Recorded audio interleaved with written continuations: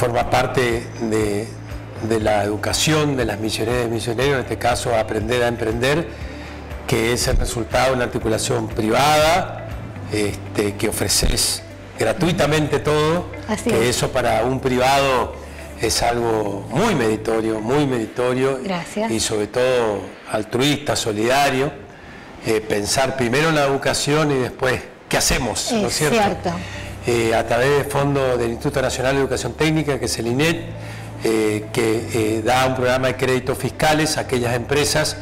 que en vez de pagar el impuesto no agregado, este, el, IVA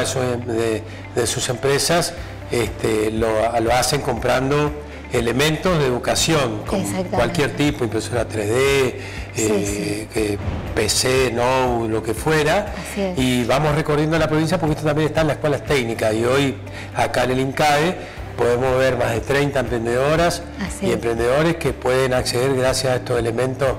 este, que a través del INEC, con Nora, que tenés una directora general ahora eh, de, la Nación. Así es, visitándonos. Eh, presente visitándonos, eh, que ha visitado varias escuelas también técnicas, y facilitar sobre todo el acceso este, a emprender a, gente común, gente a pie, que viene hoy a tu, a tu INCADE y realmente a agradecerte a vos por, por pensar sobre todo con un objetivo común que no nos diferencia entre el público y el privado, que es la igualdad de oportunidades